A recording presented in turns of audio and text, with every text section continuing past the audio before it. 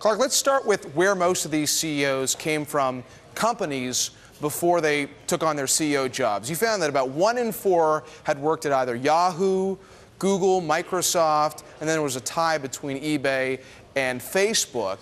Uh, but Yahoo, more than any other company, has been the source for tech CEOs. About 9% of these folks came from there. What did you make of that number? Well, I think it's where the grounding comes from. It's, it's interesting as the world shifts and it's much more digital. Russell Reynolds saw that, that the academies that used to be GE and other places are really these, these tech companies out west that are, that are forming the CEOs of today. So Yahoo by far, Microsoft, Facebook, and really Apple, which many people ask us about, was really only 2%, a smaller amount than you'd imagine. Why do you think that is? Why do you think Apple wasn't at the top of the list when it's, you know, the most powerful company on the planet these days? I think a couple of things. I think uh, companies go through cycles. This is a place, as you might call them, academies to train people. And typically, when in, as an entrepreneur-led company, as it was, people are very excited. They're fired up to be there. They're not yet moving on to run another uh, company. As there's transition and people have become more senior, they probably start becoming CEOs of other companies.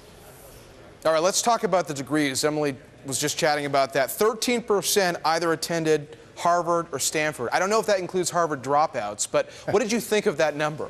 I was shocked. I would have thought it was a much wider spread. Even more amazing is the cluster that the CE, the uh, Ivy League alone, had 20% just within the Ivy League and 14 of Harvard and Stanford. If you added Berkeley, 25% of CEOs either went to Ivy League schools, Stanford, or Berkeley. An amazing concentration. And also, hmm. more interesting is what they studied. You'd think it'd be computer engineering. Fortune, Fortune 500 CEOs typically have engineering backgrounds. These are economics first, computer science, not surprisingly, and then engineering yeah. behind that. Uh, that makes sense. Let's talk about where the next generation of CEOs are coming from, because you're finding that anybody who's got some digital background, it's a pretty broad term, right. uh, is getting calls to be a CEO. Tell us more about that. Yeah, I think that because there's so much transformation going on, and it's not just technology. For us, what's most interesting is the healthcare and the retailers uh, are going to the digital world, to the tech companies, particularly with hmm. digital, mm. to recruit them as chief executives. So if you, uh, you look a little bit in retailing, it was merchants and store operators. Now, because it's multi-channel, you've got to have a catalog, you've got to walk in a store, and you've got to go through the shopping online.